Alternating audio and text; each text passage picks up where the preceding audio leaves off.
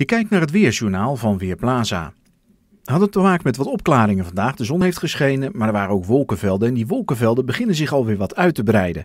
De wolken ten westen van ons land trekken namelijk in oostelijke richting. En dat betekent dat ze geleidelijk aan steeds meer de overhand gaan krijgen.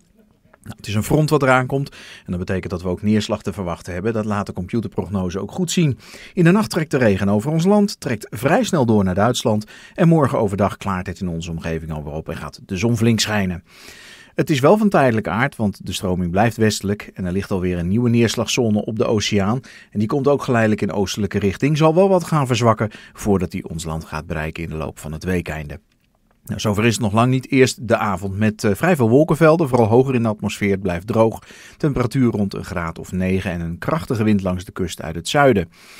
Vannacht gaat de wind iets toenemen, wordt hard langs de kust en het gaat regenen van het westen uit. Uiteindelijk aan het eind van de nacht wordt het in het noordwesten alweer droog en daar draait de wind dan als eerste naar een westelijke richting en begint het op te klaren.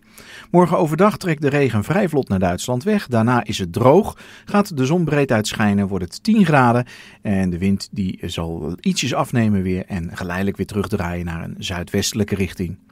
Dan het weekeinde met veel wind langs de kust. Zaterdag en zondag minimaal hard, af en toe misschien zelfs stormachtig. En een kleine kans op een storm in het noordwestelijk kustgebied. En dan denk ik eigenlijk alleen aan Texel en Vlieland. De temperatuur in het weekende. Zaterdag een graad of 9 met overwegend droog weer en vrij veel wolkenvelden. Zondag is de kans op neerslag iets groter. Kan het lokaal 13 graden worden. ook maandag is het zeer zacht met 12 graden.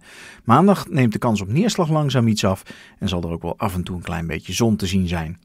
De temperatuur is hoog in het weekende, zal daarna langzaamaan wat gaan dalen om rond of net onder de 10 graden uit te komen. De onzekerheid wordt groter in de temperatuurverwachting, maar winterweer zit er vooralsnog niet in. Ik ben Marco Verhoef van Weerplaza.nl.